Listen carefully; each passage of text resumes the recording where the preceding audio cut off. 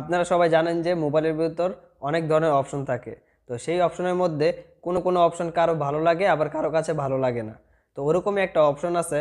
আপনাদের কাছে যখন কোনো ফোন আসবে, তখন যদি আপনারা কথা বলেন, কথা বলার পর যদি সেটা কেটে দেন বা আপনারা যদি সাপোজ কাউকে কল দেন কল দেওয়ার পর যদি কলটা রিসিভ হয়, তখনও ওই মোবাইলটা ভাইব্রেট হয়। তো এরকম একটা অপশন আছে।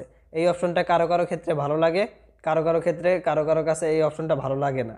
তো এইটাই কীভাবে আপনারা অফ করতে পারেন অন করতে পারেন, তাই নিয়ে আজকের এই ভিডিওতে আমি আপনাদের দেখাবো।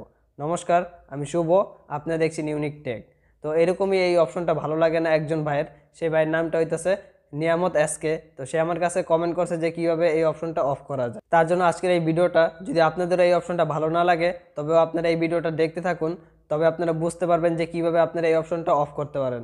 আর যদি এই অপশনটা আপনাদের ভালো লাগে পার্সোনালি আমার মতো, তো আপনারা এই অপশনটা এটাও বুঝতে পারবেন যে কীভাবে অন করতে হয়। নিয়ামত আজকে ভাই যে কমেন্ট করছে, তার মোবাইলটা হইতেছে Realme C twenty five S তো তার মধ্যে এই অপশনটা আছে। কিন্তু তার মানে এই না যে শুধুমাত্র Realme C twenty five S এর মধ্যেও আছে। আমি ব্যক্তিগতভাবে Samsung Galaxy A fifty one ডিভাইসটা ব্যবহার করতেছি, এই ডিভাইসের মধ্যেও এই অপশনটা আছে। তো আপনারা যদি বিভিন্ন ধরনের ডিভাইস ব্যবহার করে থাকেন, তো আপনার সেখানেও এটা যদি অপশন থাকে তো এনেবেল করতে পারেন। আমি আজকে Realme C twenty five S device দিয়ে দেখাবো যে কীভাবে আপনারা এই অপশনটা অন করতে পারেন অফ করতে পারেন। কিন্তু আপনাদের ডিভাইসেও যদি এই অপশনটা থাকে, তবে আপনারা সেটাও দেখতে পারবেন। তো শুধুমাত্র Realme C twenty five S ডিভাইসের জন্য না। যদি আপনাদের এই অপশনটা থাকে আপনাদের মোবাইলে তবে আপনারাও এটা অন করে নিতে পারেন ঠিক একইভাবে। এই অপশনটা কিছুটা এরকমভাবে কাজ করে যে আপনারা যদি কাউকে কল দেন, সে যদি কলটা রিসিভ করে, তবে আপনাদের মোবাইলটা ভাইব্রেট হইব। যার মাধ্যমে আপনারা বুঝতে পারবেন যে কলটা রিসিভ হয়েছে তার মানে আপনি যদি কল দিয়ে হাতে রেখে দেন বা কানেও না নেন তবে আপনারা বুঝতে পারবেন যে কলটা রিসিভ হয়েছে নাকি হয় নাই, কারণ হইলে তো ভাইব্রেট হইবই। ঠিক একইভাবে যখন আপনারা কথা বলা শেষ, তখন যদি আপনারা কেটে দেন বা সেও যদি বিপরীত পাশে যে থাকবে সেও যদি কেটে দেয়, তবে আপনাদের এখানে ভাইব্রেট হইব, যার মাধ্যমে আপনারা বুঝতে পারবেন যে কলটা কাটা হয়েছে তো এটাই একটা সুবিধা যে এই অপশনের এখান থেকে আপনারা বুঝতে পারবেন যে কলটা রিসিভ হয়েছে নাকি হয় নাই। তাছাড়া কলটা কাটা হয়েছে নাকি হয় নাই। এই অপশনটা কীভাবে আপনারা এনেবেল করতে পারবেন বা ডিসেবল করতে পারবেন, এটা নিয়ে আমি স্ক্রিন রেকর্ডিং করে রাখছি। এটা এখান দিয়ে আমি দিয়ে দিব, আপনারা এখনই দেখতে পারবেন। প্রথমে আপনারা যা করবেন তা হইতাছে, প্রথমে আপনারা আপনাদের মোবাইলে ফোন ডায়ালারে যাবেন। ফোন ডায়ালে যাওয়ার পর আপনারা উপরে দেখতে পাবেন, ডান দিকে যে থ্রি ডট একটা মেনু আছে, ওইখানে একটা ট্যাপ করবেন।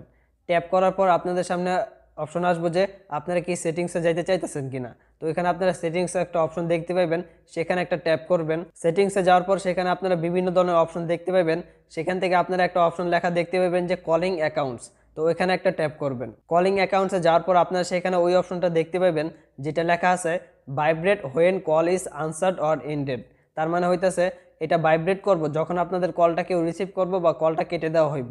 তো এই অপশনটা দেখতে পাবেন যে এনেবেল আছে। যদি আপনাদের ভালো লাগে তো সেটা এনেবেলই রেখে দিবেন। আর যদি ভালো না লাগে, তবে সেখান থেকে আপনারা ডিসেবল করে দিবেন। ওইটার নিচে আরেকটা অপশন আছে, যেটা হইতেছে use power button to end calls তার মানে হইতেছে আপনারা আপনাদের কলটা কেটে দিতে পারবেন পাওয়ার বাটনে ক্লিক করার মাধ্যমে। তবে অবশ্যই এখানে একটা লেখা আছে যে হোয়েন স্ক্রিন ইজ অন মানে আপনাদের স্ক্রিনটা অন থাকতে হইব। তখনই আপনারা যদি পাওয়ার বাটনে ক্লিক করেন, তবে কলটা আপনারা কেটে দিতে পারবেন। ব্যক্তিগতভাবে আমি এই দুটো অপশনই ব্যবহার করি, কারণ আমার কাছে ভালো লাগে। যদি আপনাদের কাছে ভালো না লাগে, তবে আপনারা এই অপশনগুলো ডিসেবল করে রাখতে পারেন।